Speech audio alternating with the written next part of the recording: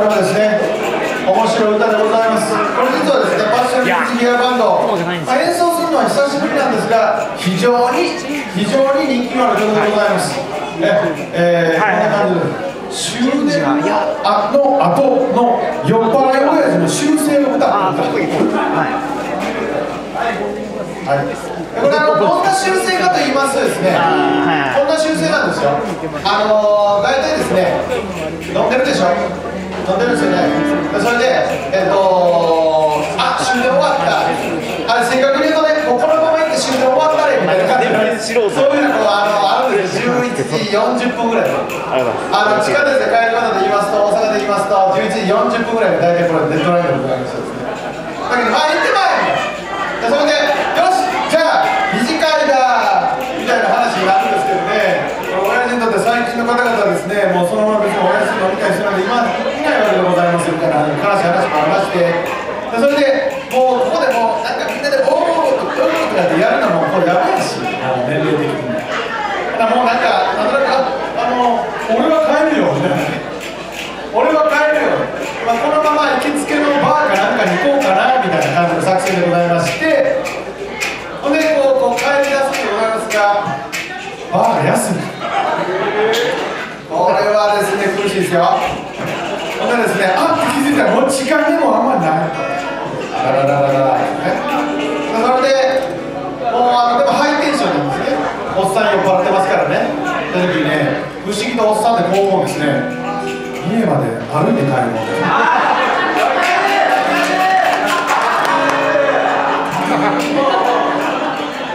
う 一回言いますよ。家まで歩いて帰ろう。ってほんでねもう到底帰れる距離はないんですよ。ほんで、えーと、今回の親父のえーと、ルートマップをご紹介したいと思います。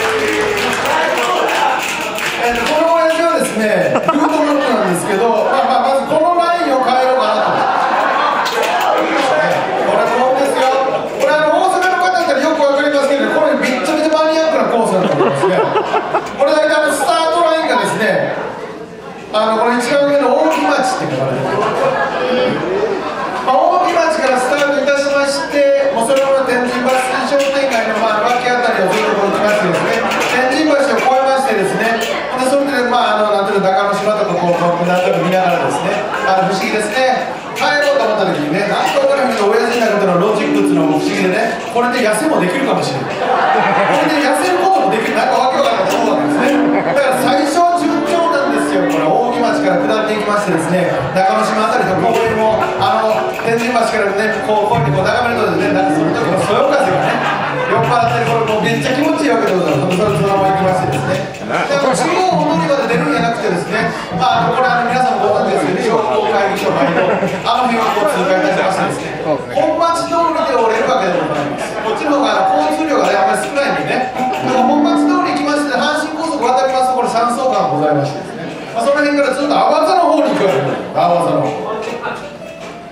からですね親父のですねもうこの辺になってくるとですねまあきついんですよ。きついんですけどここでの中央大通りはなんか晴れやかな感じなんですね。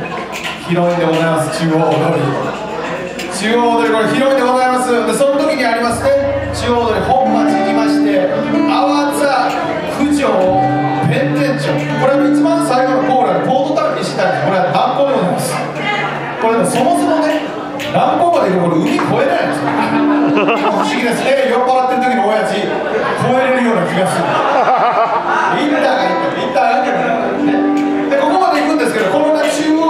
りがこれあの朝潮橋あたりでこう続いてくるわけでございし南港通りでぶつかるところに朝潮橋行くんですけどここまでの間いいですね阿波座九条弁天町頭文字を取って AKB 皆さんご存知ですか弁天町頭文字を取ると AKB48 歳の親父が歩くと AKB48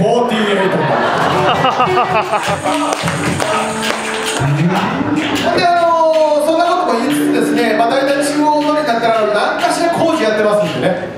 何かしら工事やってるんですね。その時にですねもう普段だったら絶対せえへんのですけどね。もうあのそれこうご苦労様でござ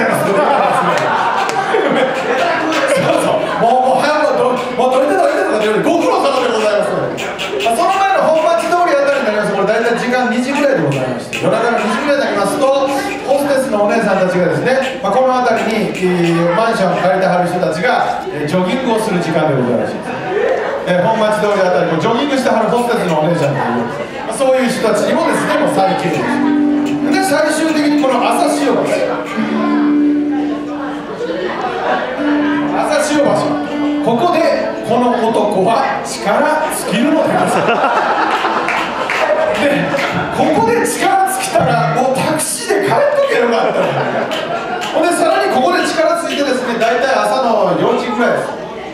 た時に皆さんあのこの辺よくあの、ね、血のりのある方ご存知かもしれませんが朝潮橋の駅前にね吉牛があるんですね知ってますかねあのロイホからちょっとちょっともうちょっとあの大阪に行ったらね朝潮橋あああるんですねあそこでもうあのもうこうなだれ込むようにこうほんでもうとにかくその次にやらなかとにかくこれねまだ夏やからよし夏ですからね7時ぐらいまで大丈夫でもこれ秋ぐらい。冬になってきますとね。いやもうなかなかこう夜が明けまあまあでもあるで夏やったらね5時ぐらいからカンカン照りになりますよ。こんな時に親父はこう思うわけでせめてせめて嫁はんが起きる前に家に帰ってベッドで寝てるふりする。でああんたどうした？あえ？いや飲んだけどな。あもうな寝たわ。みたいな感じ。まあボワそういうことだけです。まあ奥さん大体気づいてるという親父の歌を歌います。